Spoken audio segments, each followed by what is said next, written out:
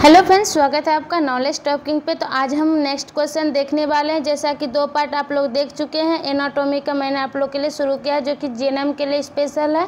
ठीक है तो इसमें जो एनएम स्टूडेंट है, वो भी आप कॉमन क्वेश्चन है। ये सब आप देख सकते हैं। आप लोग के नॉलेज के लिए बहुत अच्छा है। तो चलिए, आज का जो क्वेश्चन है, आज का फ़र्स्ट क्वेश्चन है आपका। समान आकार एवं समान आकृति की कई कोशिका आपस में मिलकर निर्माण करती है। जब कई सेल्स मिल जाते हैं आपस में तो किसका निर्माण करती है? क्या अंग का या ऑर्गेन का करती है, या टिश्यू का करती है सिस्टम का, या फिर अंग और टिश्यू दोनों का करती है? तो इसका सही आंसर आपका क्या हो जाएगा? तो टिश्यू हो जाएगा। जो समान आकार हो, समान आकृति की हो और समान कार्य करती हो तो जब कई सेल आपस में मिलते हैं तो इससे क्या होता है? सेल से टिश्यू का निर्माण होता है। देखिए सेल से आपका टिश्यू का निर्माण हुआ और टिश्यू से आपका ऑर्गेन का निर्माण होता है। ऑर्गेन से आपका सिस्टम का निर्माण होता है। सिस्टम से आपका क्या बनता है? बॉडी बन जाता है। ह्यूमन बॉडी बनता है। ठीक है? चलिए नेक्स्ट क्वेश्चन देखते हैं। नेक्स्ट है आपका, उतक को आकार संरचना तथा उनके कार्यों के आधार पर कितने भागों में विभाजित किया गया है? उतक जो है, यानी टिश्यू को, उसके आकार संरचना तथा उनके कार्यों के आधार पर कितने भागों में विभाजित किया गया? तो आपका फ़र्स्ट ऑप्शन है दो बी है आपका तीन और सी है आपका, चार और डी है आपका एक। तो इसका सही आंसर क्या होगा? आप लोग को अगर पता है तो आप लोग कमेंट में लिखिएगा कि आप, इसका आंसर क्या होगा? तो देखिए, कार्यों का समूह, कार्य और संरचनाओं के आधार पर जिसको बांटा जाता है, वो आपका चार भागों में विभाजित किया जाता है। कौन कौन सा होता है? तो वो भी हम आपको बता देते हैं। तो नीचे मैंने आपको नोट में लिख दिया हुआ है।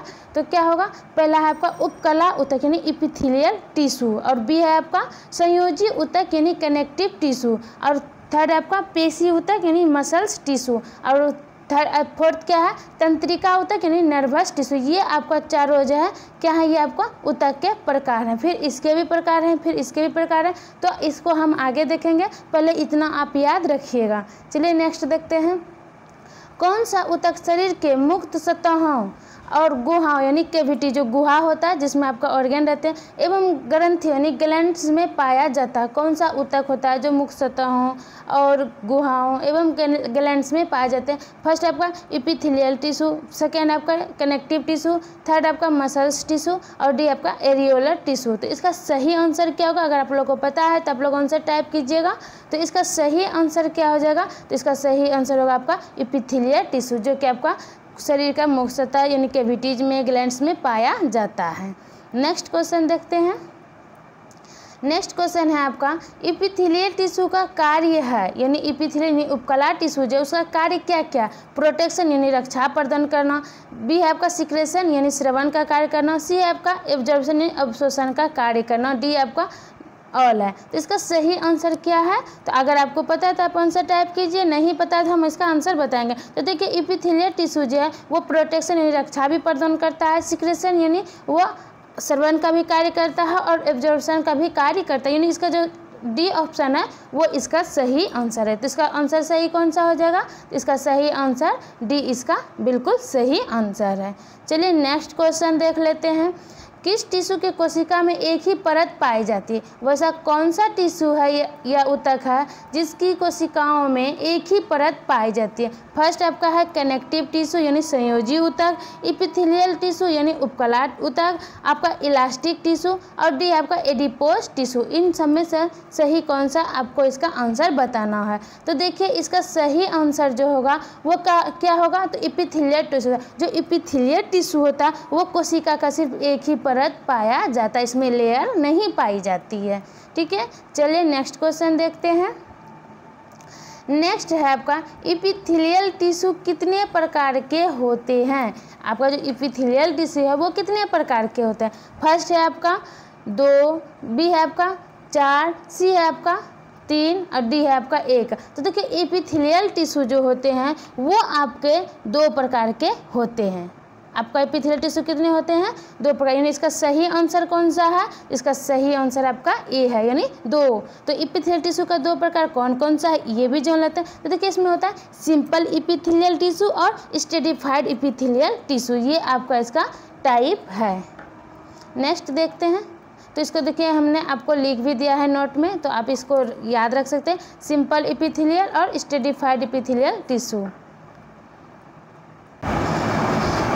तो आप देख सकते हैं स्टेडीफाइड का मैंने आपको इंग्लिश में आपका स्पेलिंग भी लिख दिया। स्टेडिफाइड इपिथिलियल टिशू ये आपका दोनों इपिथिलियल टिशू का टाइप है। ये फ़र्स्ट हो गया ये आपका सेकेंड हो गया। अब नेक्स्ट क्वेश्चन देखते हैं।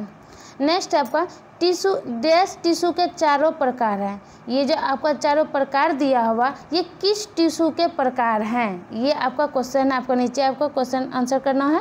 देखिए, पहले क्वेश्चन समझ लीजिए। डैश जो है, टिशू के चारों प्रकार है। Simple squamous epithelium tissue simple cuboidal epithelium tissue simple columnar epithelium tissue और फोर्थ आपका सिलिएटेड सिंपल इपिथिलियम टिशू ये चारों जो हैं, वो किसके प्रकार हैं? तो इसका सही आंसर जो होगा, वो क्या होगा? पहले देख लीजिए। तो इसका आपका पहला ऑप्शन है सिंपल इपिथिलियम टिश्यू और बी है आपका स्टेडिफाइड इपिथिलियम टिश्यू तो ये चारों प्रकार जो हैं, किसके हैं चारों प्रकार? तो इसका सही आंसर जो आपको होगा, वो होगा A number simple epithelium tissue जो होते हैं, उनके चार टाइप होते हैं। ये चारों उन्हीं का टाइप है। सिंपल इपिथिलियम टिश्यू कितने प्रकार के होते हैं? तो चार प्रकार के होते हैं। देखिए, आपको हम अभी जो फ़र्स्ट लाए हुए टिश्यू में, इसमें आपका सारा टिश्यू का नाम है। ये आप अच्छे से याद कर लीजिएगा, क्योंकि इसमें जो आपका बॉडी पार्ट बना होता है, आप लोग भी जान रहे, टिश्यू से बना हुआ। तो टिश्यू का कौन टिश्यू कहाँ पाया जाता है, उसका नाम आपको याद रहना बहुत ही ज़रूरी है। और कभी आपको कथन कारण में किसी एग्ज़ाम में आपको ऐसा दे सकता है कि इसका टाइप है या नहीं है तो अगर आपको याद रहेगा तो आपको ये अच्छे से आप आंसर कर पाइएगा। वैसे जब आप लोग के लिए टेलीग्राम लिंक स्पेशल बनेगा तो इसका टाइप जो है, अलग से स्पेशली आप लोग को लिख के नोट्स के द्वारा मिलेगा। तो अभी आप ये सब क्वेश्चन पढ़िए और आप लोग को ये पीडीएफ भी मिलेगा। जब आप लोग के लिए स्पेशल टेलीग्राम लिंक बनेगा तब। अभी नहीं, अभी आप यूट्यूब पर देख के पढ़ सकते हैं। चलिए तो इसका सही आंसर क्या हो गया? तो इसका सही आंसर आपका हो गया A number simple epithelium tissue next question देखते हैं। नेक्स्ट है आपका सिंपल स्क्वामस इपिथिलियम टिश्यू शरीर के किस भाग में पाए जाते हैं? देखिए क्वेश्चन आपका आ गया कि सिंपल स्क्वामस इपिथिलियम टिश्यू जो है, वो शरीर के किस भाग में पाए जाते हैं? फ़र्स्ट आपका है, हृदय आवरण, यानी कवरिंग ऑफ़ द हार्ट यानी जो हार्ट को कवर किया हुआ, हृदय को जो कवर किया हुआ, उस वहाँ पाया जाता है। बी है आपका फुसफुस के एल्बुलाई में, यानी आप अगर रिस्पेक्टिव सिस्टम पढ़ेंगे तो उसमें आपका लंग्स में क्या होता है एल्बुलाई पाया जाता है, जिसमें क्या होता है आपका, पाया जाता है या नहीं पाया जाता, ये आपका क्वेश्चन है, ठीक है? आपका नेक्स्ट है आपका ब्लड एवं लिम्फ वेसल्स में ब्लड एवं लिम्फ वेसल्स में पाया जाता है या नहीं? तो आंसर डी है आपका सभी, यानी क्या क्या कह रहा question simple squamous epithelium tissue जो है, शरीर के किस भागों में पाया जाता है? हृदय आवरण में, फुसफुस के एल्बुलाय में सी आपका ब्लड एंड लिम्फ वेसल्स में डी है आपका सभी। तो देखिए सिंपल स्क्वामस इपिथिलियम जो है, वो आपका क्या होता है? सभी जगह पाया जाता है। तो क्या आप लोग का इसके बाद पिक्चर भी देख लीजिए। सिंपल स्क्वामस इपिथिलियम जो होता है, वो कैसा दिखता? है तो पहले हम आपको सिंपल स्क्वामस इपिथिलियम का आपको पिक्चर दिखा देते हैं।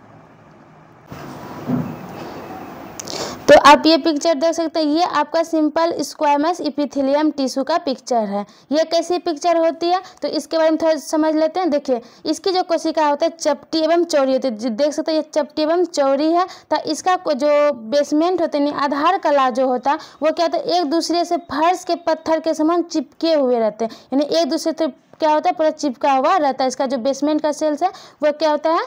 एक, ये एक दूसरे से चिपके होते हैं। और बीच बीच में इसका क्या होता है? केंद्रक पाया जाता है। इसमें न्यूक्लियस पाया जाता है।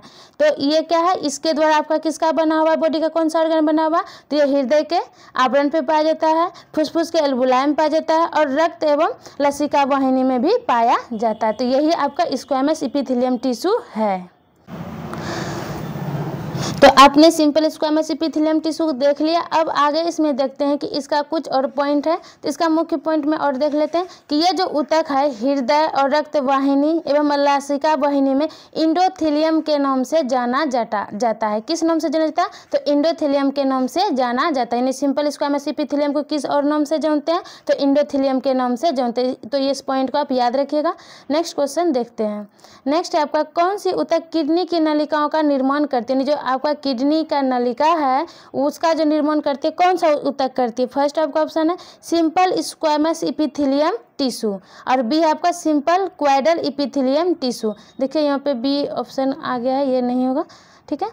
तो सी आपका है सिंपल कोलुमनार इपिथिलियम टिश्यू और आपका डी है नन। तो आपको बताना किसका सही आंसर क्या यानी किडनी के नलिका का जो निर्माण है, वो कौन करती है? तो इसका सही आंसर आपका हो जाता है, अगर आपको पता है तो आप टाइप कीजिएगा, इसका सही आंसर है B, simple cuboidal epithelium tissue, जो किडनी के नलिका का निर्माण करती है, वो कौन सा टिश्यू करती है? तो वो टिश्यू आपका सिंपल क्वाइडल इपिथिलियम टिश्यू। तो इसका भी देख लेते हैं कि सिंपल क्वाइडल इपिथिलियम टिश्यू जो है, वो किस प्रकार से दिखते हैं, ये किस प्रकार से होते हैं।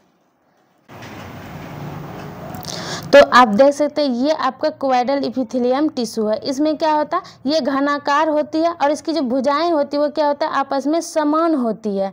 एक दूसरे से क्या होती है बेसमेंट पे भी चिपकी हुई, यानी सटी हुई रहती है। ये इसका आकार कैसा होता है, घनाकार होता है और इसकी सभी भुजाएँ एक समान होती है। ये आपका क्वाइडल इपिथिलियम टिश्यू है। नेक्स्ट अब देखते हैं। आगे आपका क्वेश्चन है आहार नाल की नलिकाओं के भीतरी दीवारों पर। भीतरी दीवार पर पाए जाते हैं, जो आपका आहार नाल यानी एलिमेंट्री कनाल है, उसकी दीवार पर कौन सा टिश्यू पाया जाता है? फ़र्स्ट आपका ऑप्शन है simple columnar epithelium tissue, B आपका simple squamous epithelium tissue, C आपका simple cuboidal epithelium tissue, D है आपका नन। तो देखिए, आपका आहार नाल पे जो पाया जाता है, वो आपका कौन सा पाया जाता है? तो वो आपका कोलुमनार पाया जाता है। कौन सा पाया जाता है? Columnar tissue. आपका इसका सही आंसर कौन हो जाएगा? A simple columnar epithelium tissue तो इसको भी देख लेते हैं, इसकी आकृति कैसी होती है? तो ये आपका इसका जो हिंदी होता है, वो क्या होता है? स्तंभ. यानी स्तंभ के समान होता है। तो इसका हम देख लेते हैं कि इसका आकार कैसा है। तो आप देख सकते हैं, ये आपका है कोलुमनार इसमें क्या होता है तो इसकी भुजा जो है, वो स्तंभ के समान होती है और एक दूसरे से क्या होती है, सटी हुई रहती है। इसकी भी देख सकते हैं, भुजा क्या एक समान है और एक दूसरे से सटी हुई है। तो ये आपका कहाँ पाया जाता है तो ये आपका जो है, एलिमेंट्री कनाल में पाया जाता है। ये आपका क्या है, कोलुमनार इपिथिलियम टिश्यू है। तो आगे का क्वेश्चन अब देखते हैं।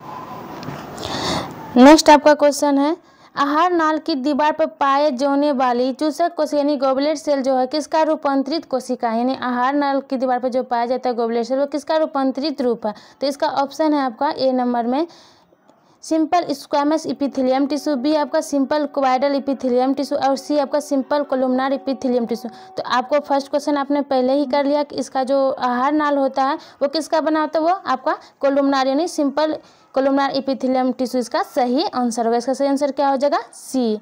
नेक्स्ट क्वेश्चन देखते हैं। नेक्स्ट क्वेश्चन आपका है, फिलिपियन नलिका। फिलिपियन नलिका तो श्वसन मार्ग में कौन से टिश्यू पाए जाते हैं? तो फ़र्स्ट आपका ऑप्शन है ciliated simple epithelium tissue, B आपका simple squamous epithelium tissue, C आपका सिंपल क्वाइडर इपिथिलियम टिश्यू और डी आपका सिंपल कोलुमनार इपिथिलियम टिश्यू। तो बोला फिलिपियन नलिका तो श्वसन मार्ग में। तो देखिए, इसमें जो इसका सही आंसर हो जाएगा, वो आंसर हो जाएगा सिलिएटेड सिंपल इपिथिलियम टिश्यू। तो आप इसको भी देख लीजिए कि सिलेटेड सिंपल इपिथिलियम टिश्यू जो होता है वो किस प्रकार के होते हैं। ये आपका है सिंपल, ये सिलेटेड सिंपल इपिथिलियम टिश्यू। देख सकते हैं, इसमें क्या होता है, सिलिया के समान होता है, जो कि आपका फिलिपियन ट्यूब में जो पाया जाता है, ये अंडे को आगे बढ़ाने में मदद करता है। ये आपका सिलिया, यही आपका है सिलेटेड इपिथिलियम टिश्यू। तो ये आज का क्वेश्चन इतना ही। तो नेक्स्ट वीडियो में फिर आगे देखते हैं।